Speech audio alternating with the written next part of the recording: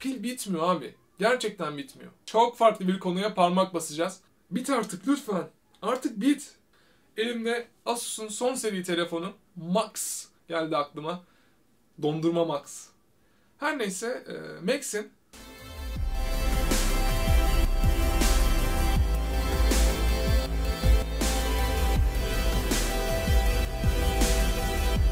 Merhaba arkadaşlar, Frekans Adam'a hoş geldiniz. Bugün bambaşka bir şey yapacağız. Elimde şu an Asus'un son seri telefonu Asus Zenfone Max var. 5000 mAh saatlik bir pil ile geliyor. Bu pil e, şu an piyasada dolaşan birçok telefonun kat kat üstünde performans sunabilecek kapasitede. Teknik detaylara dalmak istemiyorum bu videoda. Tamamıyla kullanıcı deneyimini aktaracağım. Yani günümüzde birçok insan hala dokunmatik telefona geçme konusunda tereddüt yaşıyor. Neden yaşıyor? Diyor ki adam ya zırt pırt 4-5 saatte bir telefonumu mu şarj edeceğim abi? Ya da yanımda powerbank mi taşıyacağım? Bu ne?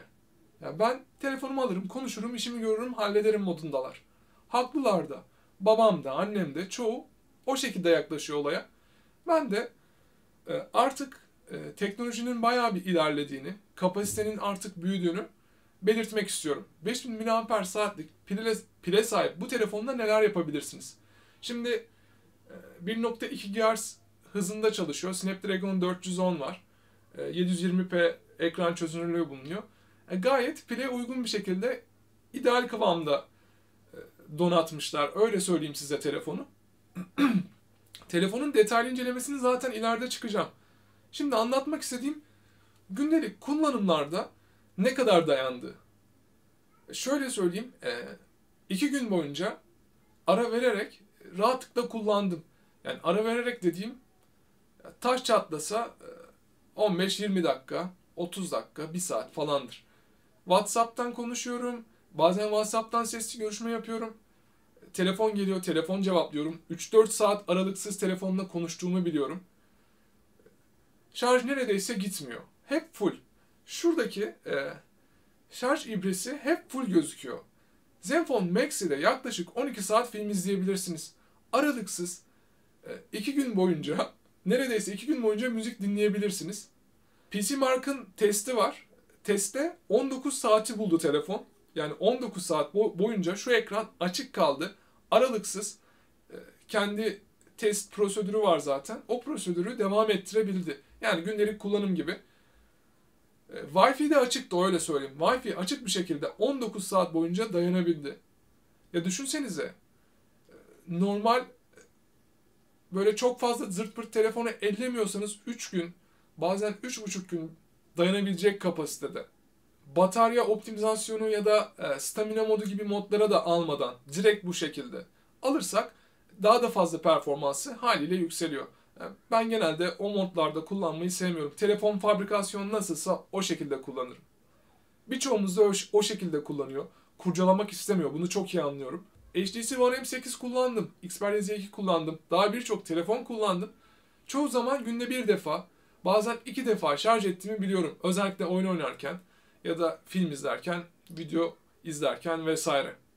Ama Zenfone Max'i ciddi anlamda iki günde bir şarj ediyorum. Şarj konusunda şöyle bir olay var. Sadece e, full olması için 5 saat bekliyorsunuz. E, artık günümüzde birçok telefonun 3 saat, 3,5 saat gibi sürelerde dolduğunu hesaba katarsak batarya kapasitesi büyük olduğu için şarj etmesi de o denli zor olabiliyor. 5 saat boyunca e, şarj edebiliyorsunuz. 5 saat sürede şarj edebiliyorsunuz. Daha hızlı olabilir mi? Tabii ki teknoloji artık gelişti. Hızlı şarj imkanları var. Tabii bunun bataryaya ne gibi zararları var onu da araştırmak lazım. Dediğim gibi iki günde bir şarj edersiniz. Yaklaşık 12 saat boyunca film izleyebiliyorsunuz. 2 gün boyunca müzik dinleyebiliyorsunuz. Saatlerce konuşabiliyorsunuz. Telefon bana mısın demiyor. Asus Zenfone 2 Lazer e, PC Mark'ın testinde 8 saat 14 dakika dayanabildi. Wi-Fi açık bir şekilde. Bu telefon ise Zenfone Max ise yaklaşık 19 saat dayanabildi. Kaldı ki içinde dahili şarj süresi daha vardı. İçinde %20'lik kapasitesi kalmıştı.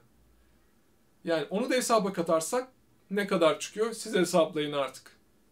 Zenfone Max gerçekten de e, akıllı telefon alacağım hemen şarjı bitecek diye korkanlar için gayet mantıklı bir çözüm olmuş. Aynı zamanda powerbank olarak da kullanabiliyorsunuz.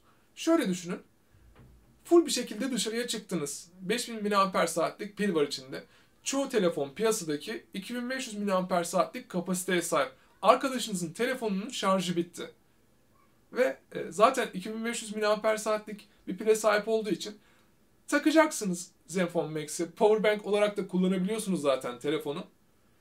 Hem arkadaşınızın şarjı full olacak hem de sizin %50'lik şarjınız kalmasına rağmen yine arkadaşınızdan arkadaşınızın telefonundan yakalayacağı performans süresini siz yine geçeceksiniz. Öyle söyleyeyim. E, bu bağlamda gerçekten başarılı bir telefon olmuş.